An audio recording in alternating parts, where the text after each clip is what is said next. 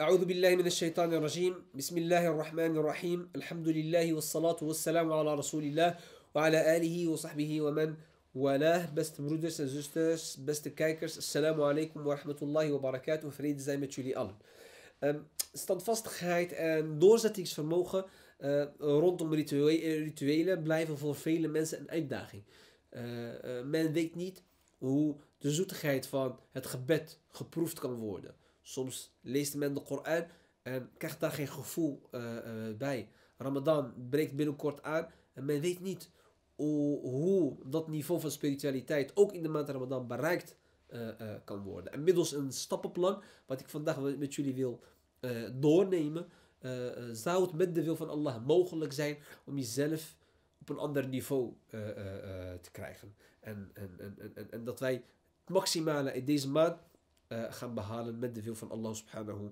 wa ta'ala. Want ik geloof dat dit een kwestie is van bewustzijn. Wanneer je bewust bent, wanneer je bewust bepaalde uh, aanbieding verricht, dan zul je een ander niveau uh, met de wil van Allah subhanahu wa ta'ala bereiken. Want wij, wij, wij, wij ondernemen vaak zaken vanuit emotie, vanuit, vanuit gewoontes. We zijn het gewend om te doen, we zijn gewend om te vasten. En ik denk dat we juist bewust moeten uh, vasten. Dus laten we met eerst stap. Eerst stappen laten we vanaf vandaag aftellen. We hebben nog een aantal dagen om Ramadan uh, te bereiken. Dus laten we Allah Azza vragen om ons in staat te stellen de maand Ramadan überhaupt te bereiken. De profeet sallallahu alaihi wasallam deed altijd een smeekbede en hij zei, O Allah, zegen voor mij Rajab en Sha'ban, twee maanden voor Ramadan, en stel mij in staat om Ramadan te vasten. Dat is dus, uh, dat zegt iets over de houding van de profeet voor Ramadan. Dat hij daarna uitkeek. Dat hij, hij verlangde ernaar om gebruik te maken van deze kans. En dat is ook een houding die wij moeten aannemen. Laten we niet onze zorg gaan maken om, om, om, honger die we gaan voelen of ervaren.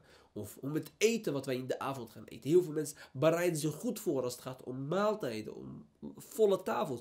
Maar laten we ook ernaar uitkijken. Van, we krijgen een gouden kans waarbij de zondes vergeven kunnen worden. We krijgen een kans waarbij het niveau van taqwa bereikt kan, uh, uh, kan worden. Een spirituele niveau, een hoger niveau bereikt kan worden. Waarin je bewust bent van alle daden die je onderneemt. Dus laten we vanaf vandaag aftellen. Tweede stap. Stap 2 is laten we vanaf vandaag kennis gaan vergaren. Wat is het vasten? Wat is de essentie van het vasten? Wat zijn de regels van het vasten? Wanneer uh, is mijn vasten ongeldig? Wanneer is mijn vasten geldig? Wat zijn de extra daden, nobele daden, goede daden die ik in deze maand kan, uh, uh, kan ondernemen?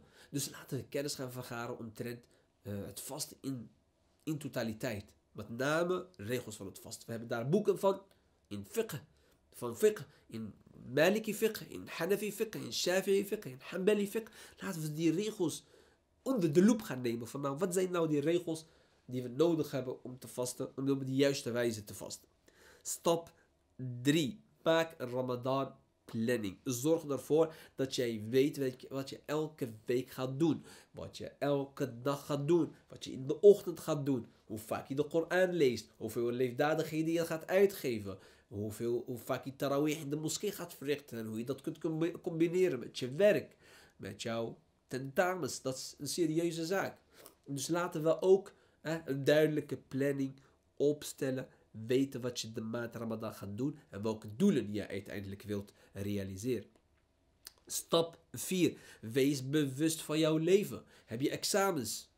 in de maand Ramadan, probeer nu alvast je daarop voor te bereiden. Wacht niet totdat Ramadan is aangebroken en twee, drie dagen voor tentamens pas gaat leren. Nee, probeer er nu aan te werken. Probeer de boeken nu te lezen. Probeer jezelf daarop voor te bereiden. Dat zijn allemaal zaken die je nu kunt doen. Heb je nog belangrijke boodschappen wat je moet doen? Probeer dat nu op je voorraad in te slaan. Nu het kan. Want Ramadan heb je geen tijd voor boodschappen. Heb je geen tijd voor andere zaken die je ook nu kunt doen. Of die je ook later kunt uitstellen. Bijvoorbeeld soms kiezen mensen ervoor om in de, in de maand Ramadan bruiloft te geven. Bijvoorbeeld. Of om af te rijden. Waarom doe je dat in de maand Ramadan? Probeer dat buiten Ramadan te doen. Ramadan is een maand van aanbieding, een maand van hard werken, want het is een kans die je niet altijd krijgt. Ramadan gaat weg en komt nooit meer terug. En veel mensen snakken ernaar en hebben niet de mogelijkheid gekregen om met ons te vasten. Dus wees bewust. Stap 4. Wees bewust van jouw leven. Stap 5. Bereid je spiritueel voor. Dat betekent dat je nu al een schema gaat maken voor jezelf. Voordat Ramadan is aangebroken, ga je extra Koran lezen. Extra delen in de Koran. Je gaat extra nachtgebeden verrichten. Je gaat extra voorzichtig zijn met wat je doet. Wanneer je het doet. Fajr, op tijd bidden. Afstand nemen van social media die een obstakel zou kunnen zijn. Dus bereid je spiritueel voor. Bereid je ook ethisch voor. Wat betekent dat? Dat betekent dat jij aan je eh, moraliteit gaat werken. Lieg ik, dan moet ik nu per direct afstand van gaan nemen. Wacht niet tot de maand Ramadan. Bereid je ethisch voor door te stoppen met te roken. Win zo'n strijd. Schakel dat uit dat je het nodig hebt, want dat is verderf. Neem er per direct afstand van. Roddel je over andere mensen. Neem afstand van die slechte gewoontes. Dat zijn allemaal zaken die jou ethisch, die jou, uh, uh, ethisch sterk maken, die jouw akhlaq verbeteren. En dat is ook een hele belangrijke zaak. Stap 7. Opgeruimd staat netjes. Wat betekent dat? Dat je alle obstakels, al zijn ze in sommige gevallen goed, dat je die uit jouw weg gaat verwijderen. Obstakels die jou belemmeren in, in, in, in, in, jouw pad naar Allah subhanahu wa ta'ala. Uh, bijvoorbeeld uh, liefde hebben voor aanzien. Liefde hebben voor hoge status. Dat, is, dat kan wel goed zijn. Dat is, niet, dat is niet altijd heel slecht. Maar soms beperkt dat jou in jouw pad naar Allah subhanahu wa ta'ala. Daar moet je afstand van nemen. Ook al die slechte gewoontes. Die we ook eerder hebben genoemd. Probeer daar nu afstand uh, uh, van te nemen. Stap 8. En dat is het laatste. Plan jouw leven rondom je aanbieding. En niet andersom. De maand Ramadan is een kans om heel veel beloningen binnen te halen. Om een betere versie van jezelf te maken. En om op een ander niveau uh, te komen. Plan jouw dag rondom je aanbieding. in en niet andersom. Dat betekent dat je vijf gebeden hebt, dan moet je eerst aan voldoen. Je hebt je, je delen uit de Koran die je gelezen moet hebben.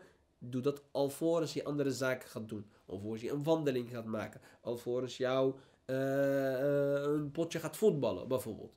Dus plan dat rondom je aanbieding en niet andersom. Want de maand Ramadan is een maand van aanbieding. Een maand waarin jij je band met je schepper gaat versterken. Dit is wat ik met jullie wilde delen. Ik hoop dat het duidelijk is. En ik hoop dat het informatief was. En ik vraag Allah subhanahu wa ta'ala om ons standvastig te houden. Ik vraag Allah subhanahu wa ta'ala om ons in staat te stellen de maand Ramadan te vasten. En ik vraag Allah subhanahu wa om onze intentie zuiver te houden. En om het vasten en alle daden die vooraf het vasten gaan van ons te accepteren. Barakallahu fikum. Assalamu alaikum wa rahmatullahi wa barakatuh.